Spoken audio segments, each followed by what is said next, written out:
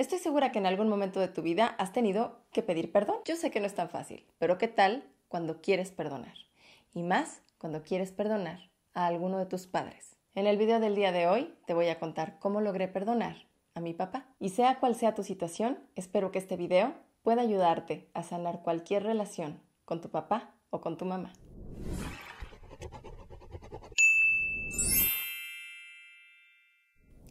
Hello mis amores, ¿cómo están? Espero que muy, muy, muy, muy, muy, muy bien, contentos, felices, enamorados, con muchas ganas de vivir la vida, ¿cómo no? Y si algo te impide vivir la vida al 100 es el rencor, el odio, el no soltar.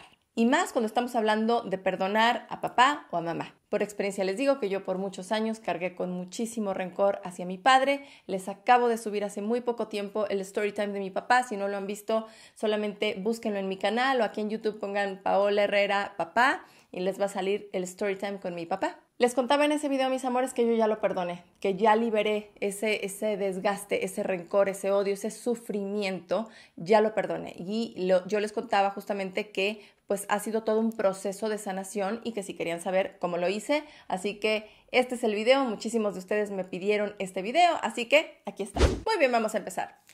Voy a empezar, valga la redundancia, comentándoles algo que, les comento a cada rato en cada video y que cuando a mí por fin me cayó el 20 de la profundidad de esta frase, decidí que tenía que perdonar a mi papá a toda costa, tenía que hacerlo por mí. Y la frase es, odiar, el rencor, es tomarte el veneno y esperar a que se muera el otro. Solo te estás dañando tú. Y si lo ves fríamente, es porque tú no te quieres. Si tú te amaras, si te quisieras al 100%, si tu autoestima estuviera hasta acá, Dirías, yo qué caramba tengo que estar sufriendo por don papá o doña mamá por los errores de ellos. Pero claro que no, yo los perdono y Dios los bendiga. Ahora, yo sé, ojalá todo fuera tan fácil y tan rápido como tener una varita mágica y decir, ya, ya no siento dolor, ya no siento rencor, ya no siento odio. Yo sé que no es fácil, pero sí tienes que entender que esté donde esté papá o mamá en este momento, el que sufre o la que sufre eres tú y no se vale. Cuando te amas, cuando te das cuenta de que no tienes por qué estar viviendo tu vida así, te elevas, como que se te abren los ojos del alma y te das cuenta que al perdonar vas a soltar y, como si fueras un globo que tenía atada una piedra, vas a cortar ese hilo y te vas a ir volando a disfrutar tu vida. Eso fue lo que me pasó a mí. Entonces, lo primero que yo hice, mis amores, fue reconocer que estaba yo muy enojada con mi papá, muy enojada. Eh, por favor, vean ese video. Eh, yo, yo de verdad que fue, pues fue un padre ausente. Hay situaciones mucho peores, pero fue un padre ausente y yo decía, ¿por qué no estás? ¿Por qué no me quieres? ¿Por qué no me buscas? Y, y yo tuve que entender, que aceptar lo enojada que estaba yo con la situación en general y entender, fíjate, muy bien lo que te voy a decir aquí, que yo también seguía siendo esa niña pequeña que pensaba que algo estaba mal con ella para que su papá no la hubiera querido. Y eso no puede estar más alejado de la realidad, mis amores.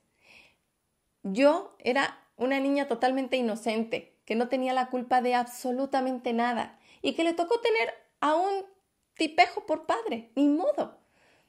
Pero yo no tenía la culpa de nada, entonces tenía que aceptar esas dos cosas. Estás enojada y también sigues pensando que no eres suficiente.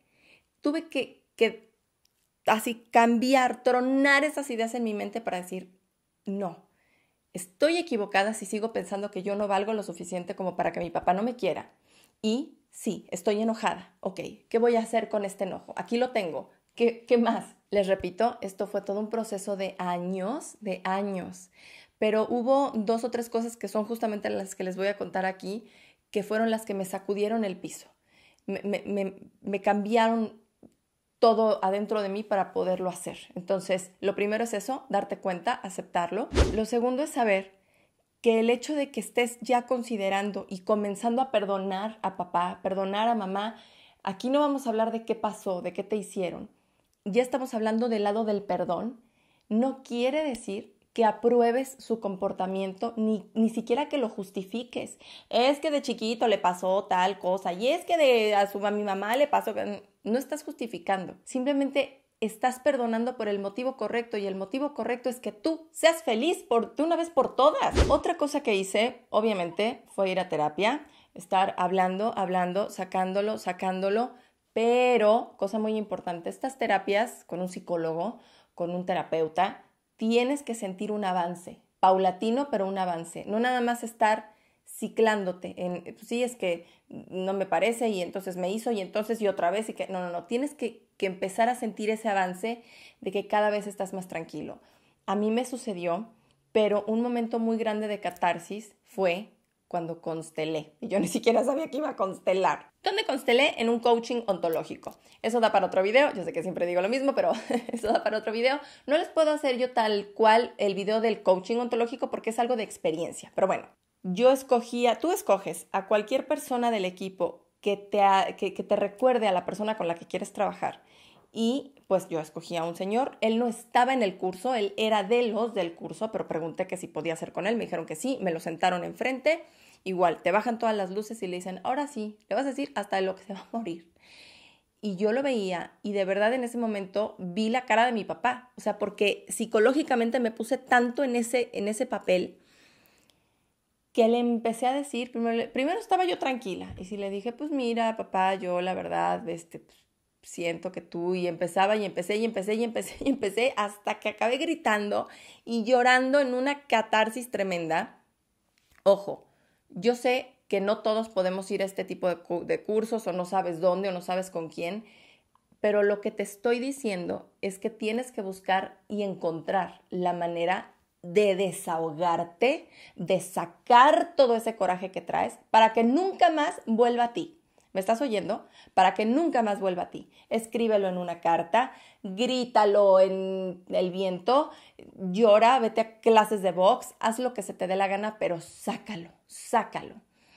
Yo ese día acabé física, mental y emocionalmente exhausta, todos, porque esos coachings son muy pesados. Pero como que se acabó el momento y ah, me solté. Entonces, si tú puedes buscar algún lugar donde la gente constele, que es algo muy similar a esto, que estás como hablando con alguien eh, que no es la, realmente esta persona, pero te sirve para descargarte y para, para sacarlo todo, es muy importante que intentes hacerlo, que busques a un terapeuta y que él también te dé algunas técnicas para que lo puedas sacar.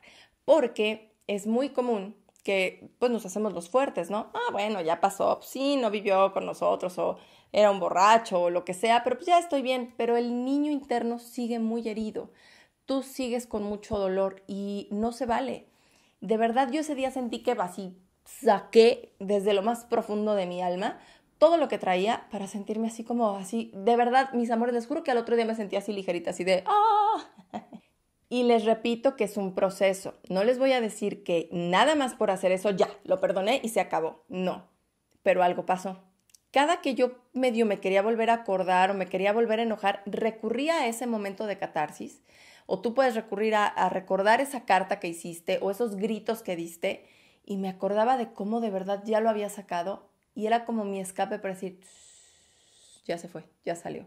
A mí eso me ayudó muchísimo y se los estoy compartiendo porque siento que es algo que ustedes pueden trabajar, que ustedes pueden buscar para poderlo sacar, pero sí siento que verbal y físicamente lo tienes que sacar. Lo siguiente, mis amores, es dejar de idealizar, porque al ser tus padres, pues, tú eres un niño, ¿no? Chiquito, y entonces son tus superhéroes, y en tu cabeza son las personas que más te deben de querer y que mejor te deben de tratar, y los idealizas.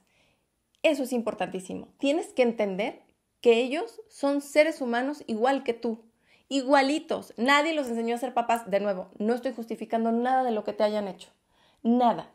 Pero son seres humanos con sus propios issues, con sus propios papás, con sus propias cosas.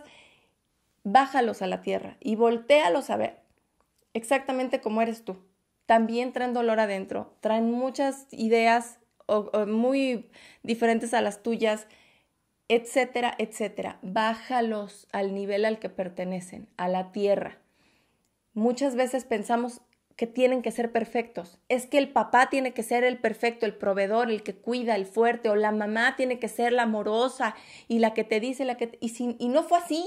Y entonces, cuando no te toca así, ¡pum!, todo se te rompe en tu mundo. No, es entender ya como un adulto, aceptar que ni papá ni mamá iban ni van a ser perfectos para nada. Entonces, con mayor razón, tienes que entender que es fácil perdonar a este ser humano totalmente imperfecto, totalmente contrariado también con sus propios dolores por el daño que te haya hecho. Y esto que acabo de decirles me lleva al siguiente punto, que fue la aceptación. Analiza muy bien lo que te voy a decir.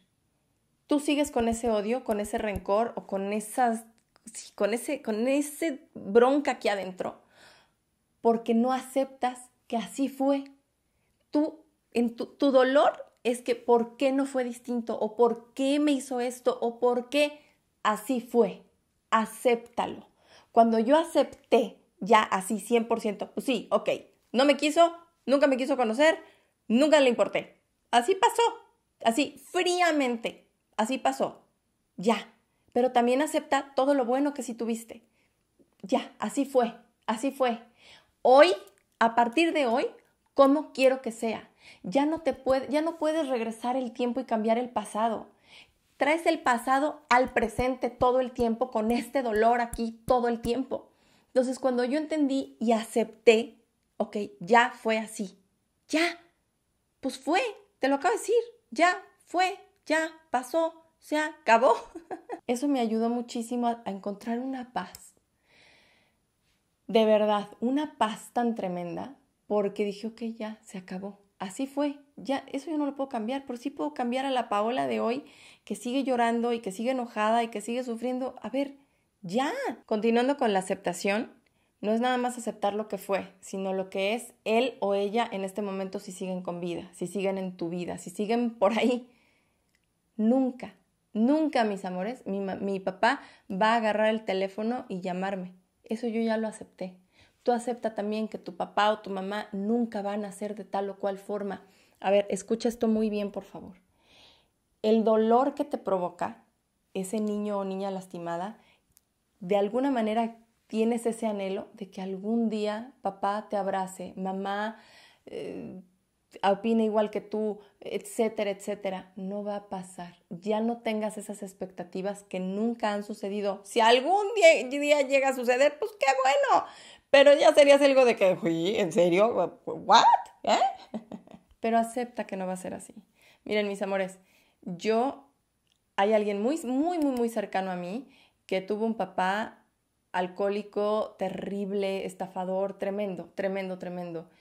Y también esa persona ya aceptó que su papá nunca va a cambiar, nunca va a cambiar, que, que ya va a ser de cierta manera hasta que se muera. Y está en una paz, porque dice, pues ya, él es así, él es así.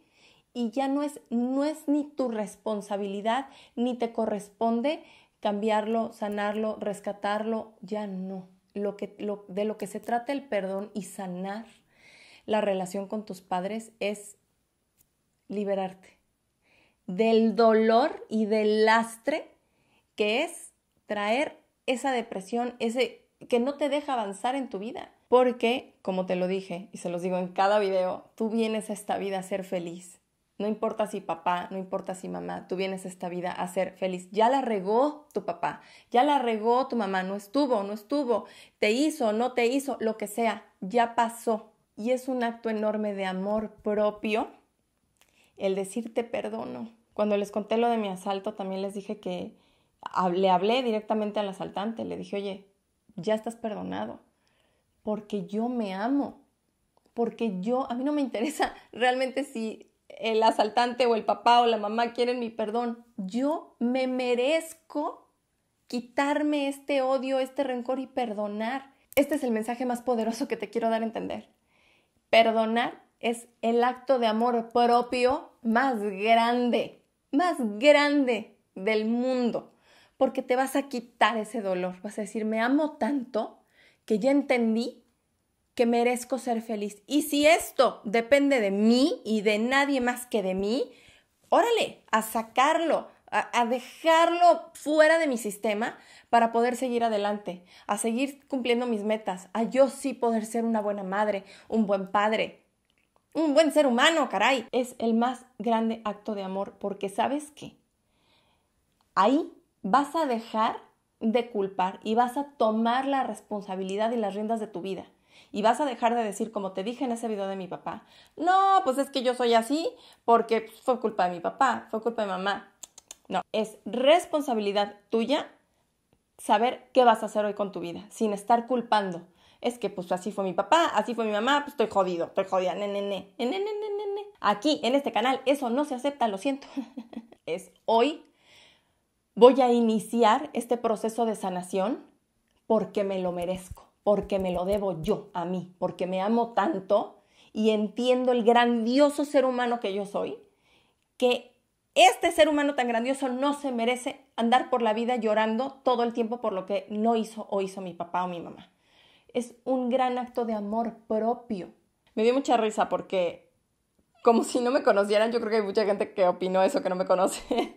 Yo soy una mujer muy apasionada, mis amores.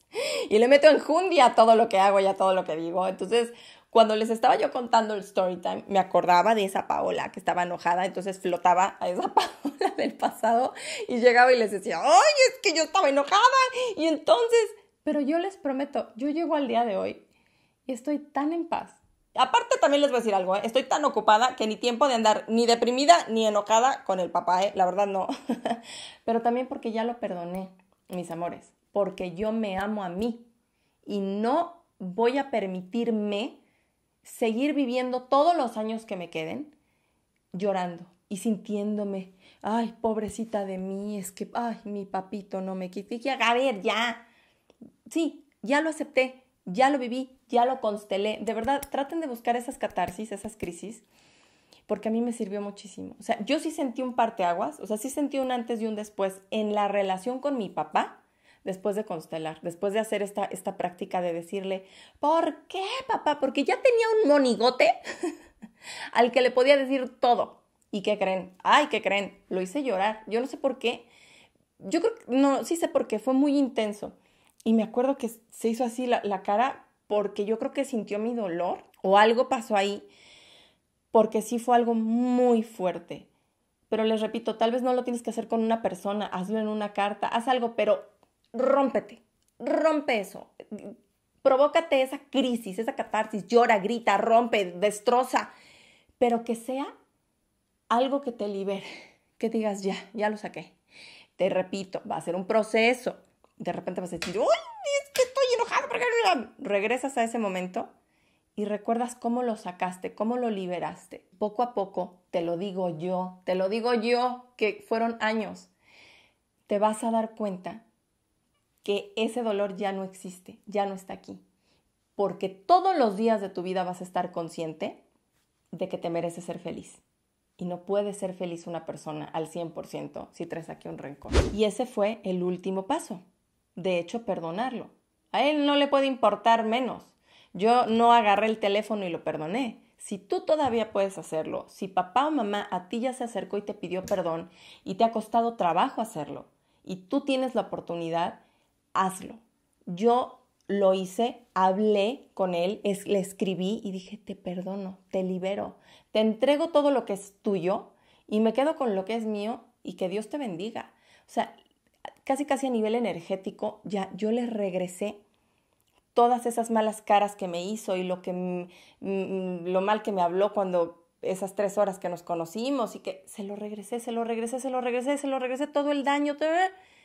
Y de verdad me sentí así de ya, ya, a mí que se me despegue todo. Y fue muy liberador. Y de verdad, conscientemente y honestamente dije, te perdono, papá. Y fue de las cosas más importantes que he hecho en mi vida. Cuando perdonas realmente ya a uno de estos dos personajes tan importantes en tu vida, papá o mamá, los que ya lo han hecho no me dejarán mentir, cambias en muchas cosas son cambios fuertes. Tal vez los notes paulatinamente, pero de el punto A que no habías perdonado al punto B cuando ya por fin perdonaste, va a haber una gran diferencia. Vas a ser una persona más plena, más feliz, más libre, porque te lo mereces. Cuéntenme, mis amores, si ustedes ya perdonaron, a quién perdonaron, cómo perdonaron, si han hecho ese tipo de, de catarsis como los hice yo, si les funcionaron, cuántas veces necesitaron hacerlo. Platíquennos, por favor. Ustedes saben que en este tipo de videos les pido mucho esta interacción porque siento que nos podemos ayudar tanto unos a otros a platicarnos cómo le hicimos y sobre todo a pedirles que este tipo de videos me los compartan en sus redes sociales. Por favor, nunca sabemos a quién podemos ayudar, qué corazón podemos tocar, a quién podemos darle ese último empujoncito para que decida cambiar su vida. Para finalizar, les puedo decir que yo a partir de que lo perdoné me siento una mujer mucho más feliz, más tranquila, más segura y más libre. Y esto fue todo por el video del día de hoy, mis amores. Si les gustó, como siempre, por favor, regálenme una manita arriba. Ya saben que me ayudan mucho, pero mucho, mucho, mucho a seguirles haciendo este tipo de videos. Y como siempre, si encontraste este contenido de valor, por favor, compártelo en tus redes sociales. Y ahora sí me voy, mis amores. Perdonen, libérense, hagan catarsis, lo que haga falta. Como siempre, les mando un beso enorme y nos vemos muy, muy pronto.